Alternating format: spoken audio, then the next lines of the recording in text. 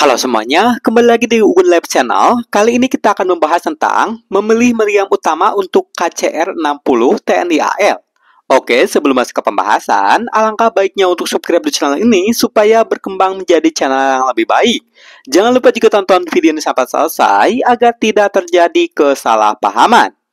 Lanjut, Meriam kaliber 57mm sejak dekade 80-an telah identik dengan sistem senjata utama pada kapal cepat rudal atau KCR TNI AL, yakni dimulai pada adopsi meriam Bopos 57MK1 di KCR Mandau Class buatan Korea Selatan, kemudian berlanjut pada generasi KCR dari EPB 57 series dengan menggunakan Bopos 57 MK2.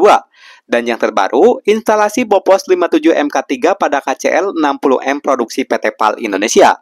Bagi sebagian orang yang memperhatikan hal ini, tentunya menjadi pertanyaan, mengapa meriam kaliber 57mm mendominasi sebagian senjata pada haluan di sebagian besar KCR TNI AL? Mendapat keterangan dari Laksmana Madya TNI Enjud Jarot, Selaku General Manager Teknologi and Quality Assurance PT PAL Indonesia, pada kapal-kapal TNI AL, pemilihan peralatan persenjataan berdasarkan pada permintaan user yang disesuaikan dengan misi operasi kapal. Pemilihan meriam sudah diperhitungkan dampaknya terhadap platform kapal, terutama pada bobot dan space-nya. Jenis persenjataan akan mempengaruhi struktur dan berat kapal.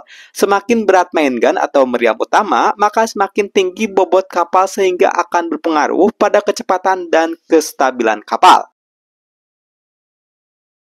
Penetapan jenis meriam utama pada kapal perang berdasarkan fungsi spesifikasi teknis yang diterapkan oleh TNI AL. Namun, belakangan ada kabar bahwa desain KCR 60 untuk TNI AL akan mengadopsi meriam pada haluan dengan kaliber yang lebih besar.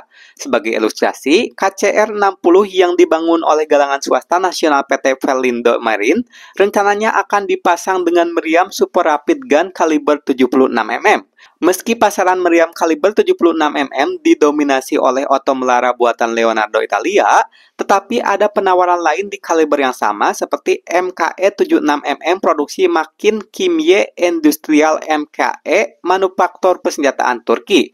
Tidak itu saja, ada juga Cina pada H atau PJ26 produksi Cina First Heavy Machine Group Corporation dengan penggunaan rudal jelajah anti kapal Atmaca dan Combat Management System CMS Advan yang dipasok oleh perusahaan Turki, Havelsan, maka bukan tak mungkin bila MKE 76mm yang kelak dipasang untuk KCR 60 produksi PT Palindo Marine.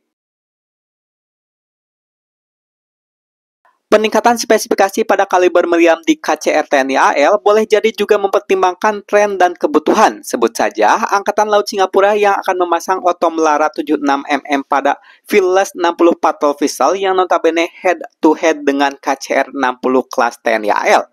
Meriam 76mm punya kelebihan jarak tembak yang lebih jauh, sementara meriam 57mm punya kelebihan pada rate on fire yang lebih tinggi.